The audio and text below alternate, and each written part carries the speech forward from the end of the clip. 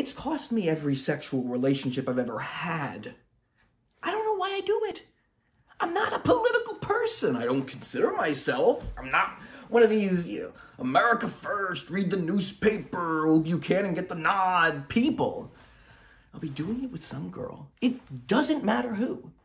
And it's when I start to come that it happens. Like, I'm not even a Democrat. Like, I don't even vote.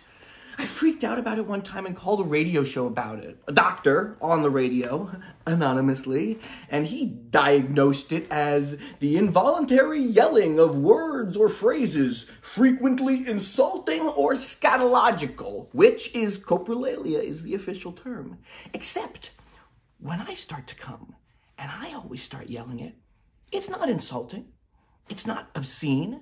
It's always the same thing and it's always so weird. But I don't think insulting. I think it's just weird and uncontrolled.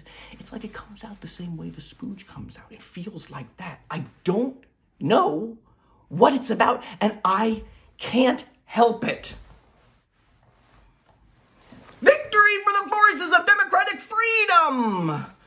Only way louder than that, like really shouting uncontrollably. Like, like I, I'm not even thinking it until it comes out and I hear it. Victory for the forces of democratic freedom! Only way louder than that. Like, victory! You get it. It just totally freaks people out. And I never know what to say. What do you say, huh? What do you say if you just shouted victory for the forces of democratic freedom right when you came? Huh?